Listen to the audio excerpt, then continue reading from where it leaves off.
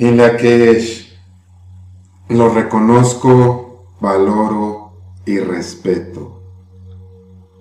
Calendario Maya Solkin. Sabiduría ancestral. Conócete a ti mismo, a ti misma, conocerás a la creación. Viernes 26 de octubre del 2018. Tenemos el día del dragón magnético. Jun Imish. El Kin 1. Comenzamos un nuevo giro del Solkin. Hemos finalizado 260 kines o días, 260 frecuencias de la creación. Comenzamos un nuevo giro, un nuevo comienzo, un nuevo inicio. Estos 13 días, el dragón Imish marca el propósito.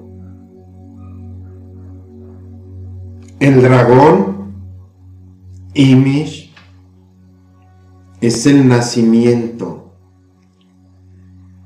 es la nutrición, es la confianza es el agradecimiento. Nos invita a confiar, a agradecer. Nada nos falta en nuestro camino. Todo es como debe ser.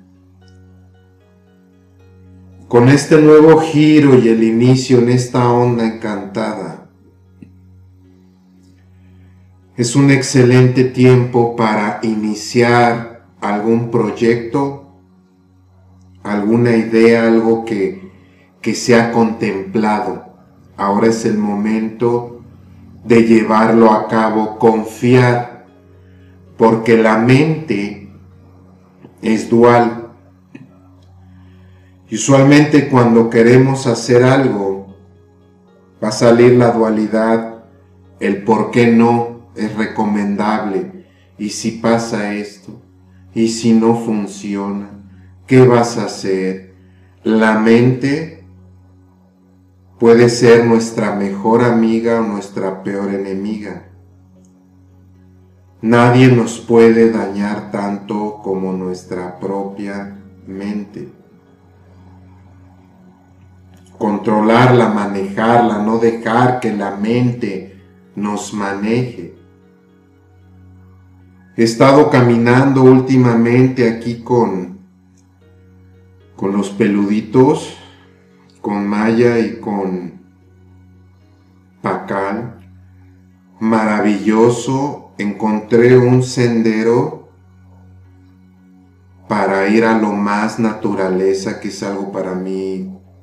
Estoy muy contento porque no lo había encontrado, no había explorado ese espacio con los perros especialmente porque salían muchos perros y luego pues o se iba Maya y esos y no querían pasar. Ahora como que sienten más seguridad, todo se sincronizó. Y maravilloso, es súper terapéutico especialmente en la naturaleza. Temprano, me ha cambiado literalmente la vida, te, te ayuda en muchos aspectos, me encanta caminar pero estaba caminando por aquí donde era más conocido, pero se me hacía muy monótono, a pesar de que es la montaña y el pueblo y bueno, me gusta más todavía más naturaleza, entonces lo recomiendo ampliamente, te ayuda a confiar, a mantenerte en el momento presente. El dragón nos va a nutrir esta onda encantada, nada nos va a faltar, pero eso depende de nosotros si confiamos. Ahora, confiar no quiere decir permanecer estáticos y esperar que las cosas lleguen, no. Es caminar nuestro camino con un corazón abierto. Evitar preocuparnos, ocuparnos, porque es fácil, ¿verdad?, el sentir quizás que preocuparnos de cómo voy a pagar esto, cómo voy a hacer esto y hacer lo posible por mantenernos en el aquí y ahora. Estos 13 días, la energía del agradecimiento, es siempre el agradecimiento ayuda. Estos 13 días va a ser de gran apoyo porque es probable que se puedan transitar pues alguna situación densa, la energía del dragón en sombra puede ser muy enérgica, controladora, se puede entrar en algún tipo de, de situación, ser consciente y, uno puede reaccionar más que responder. Reaccionar es más inconsciente, podría decirse negativo. Responder es más consciente, más positivo.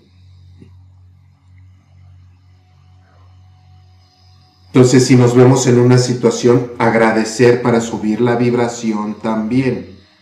Dime qué tanto deseas, te diré qué tan vacío estás. Dime qué tanto agradeces, te diré qué tan plena, qué tan pleno eres. Agradecer. Entre más agradecemos, más bendiciones recibimos. Confiar, el dragón nutre. Pasar tiempo en la naturaleza es de gran ayuda y también es muy recomendable aprender a ser más asertivos.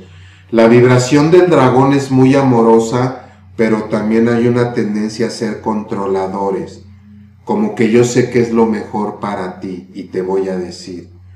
En directa proporción como tratemos de decirle a las personas qué hacer, vamos a sufrir. Cada quien tiene un camino, poseemos el libre albedrío. Una cosa es guía, esto es guía, esto no es la verdad absoluta. Toma la información como una sincronicidad, algo que te resuene es por algo, no hay casualidades. Si estás escuchando esto, es por algo. Toma lo que te resuene y lo que no, suéltalo. Ser asertivo es decir cómo me siento sin molestarme, ni ponerme agresivo y por qué, ni ponerme sumiso. sí es sí, no es no. Especialmente en la relación íntima de pareja es muy recomendable porque al principio de las relaciones uno tiende a escuchar más, como trata uno de conquistar, es más complaciente, escucha más, somos más atentos, pero conforme pasa,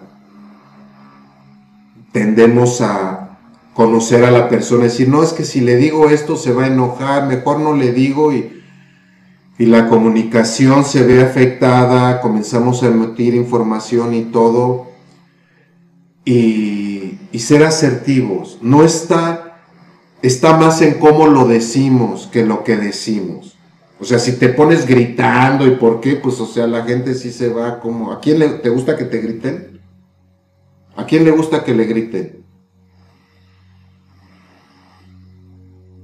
A nadie. Entonces podemos decir lo que queremos manteniéndolo y especialmente siendo asertivos para decirlo con nuestras mejores palabras en vez de nuestras peores ofensas. Hemos estado ahí, yo he estado ahí, que ya está tan caliente la situación que dices, ya voy con todo. y ya no más se trata de hacer daño, ser asertivos. El tono lunar 1 magnético es el inicio, es el kin 1, estamos en el kin 1, en el inicio, aquí exactamente.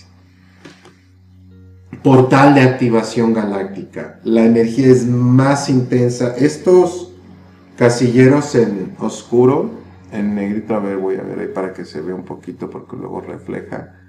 Todos esos son portales y la energía es más intensa. Tenemos un portal. Mantener más nuestro centro, nuestra paz y nuestra armonía. Ahora, el tono lunar 1 magnético es el unificar, nos marca el propósito, es el atraer. En esta onda encantada, el propósito lo marca el image, el dragón que acabamos de compartir. ¿Cuál es nuestro propósito en esta encarnación? Nuestra misión es nuestra pasión. Es hacer realmente lo que amamos. Lo que te dé pasión hacer. A mí me da pasión hacer esto y acabo de empezar, ahorita me estoy sintiendo muy creativo realmente, con ganas de compartir y para mí uno de mis más grandes maestros es Osho. Y el tarot de Osho, la información que viene en cada una de esas cartas es maravillosa, o sea, es, Osho para mí tiene una manera muy especial y, y o te vibra o no te vibra para nada.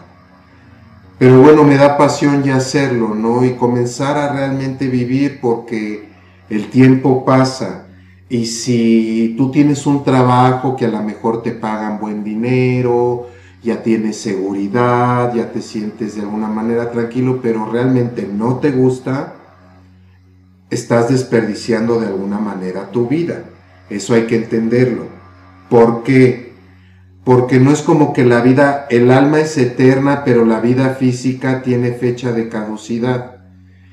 Entonces, si tú haces diario algo que aunque te paguen mucho no te gusta, el tiempo pasa y lo más valioso es el tiempo, más valioso que el dinero, porque el dinero lo recuperas y el tiempo no.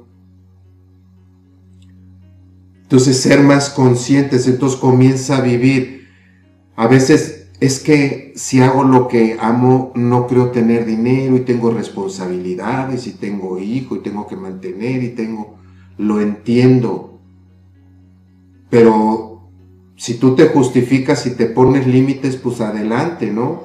Yo te digo porque realmente es, hacer vivir, es hacer lo que amas sin lastimar y si puedes brindar servicio. Lo único que nos llevamos es el nivel de conciencia, son las acciones, es el amor, no nos llevamos lo material y nos condicionan a que lo más importante es lo material porque sentimos que nos brinda seguridad. Entre más seguridad, menos nos preocupamos y más vivimos, pero luego somos prisioneros por mantener ese estilo de vida, se vuelve la gente adicta a acumular.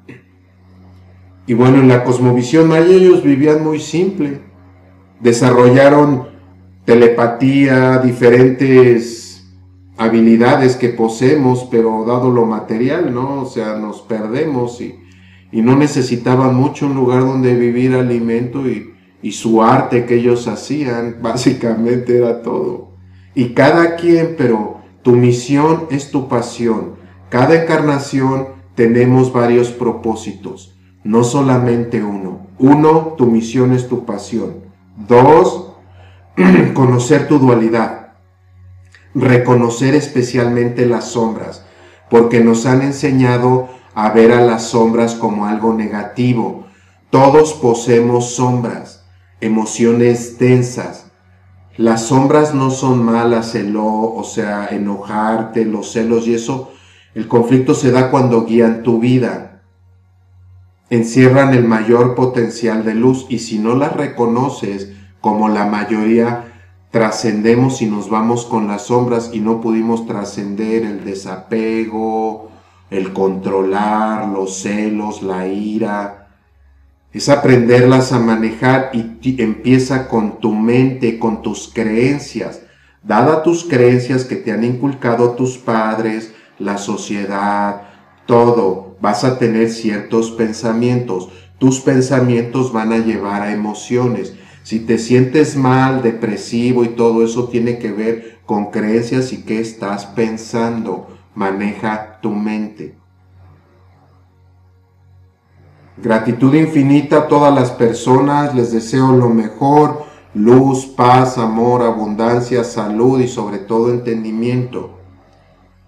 Estoy llevando a cabo un curso en Solkin, del calendario Maya Solkin, que son dos días, este fin de semana, 27 y 28 de, de octubre, 11 de la mañana, 2 de las tardes, son 6 horas en total vía Skype y hora de México. Si te interesa aprender más ah, del calendario maya, cómo te puede ayudar, si te gustaría aprender a hacer lecturas de cartas natales y todo, este curso es de gran ayuda. Vas a salir con el conocimiento, aparte se incluye el material.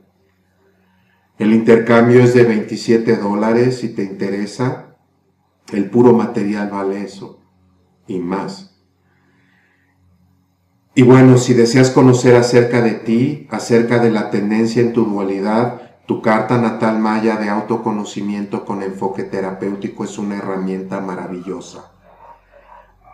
Ebook de 50 páginas en archivo PDF con información valiosísima, años literalmente de investigación.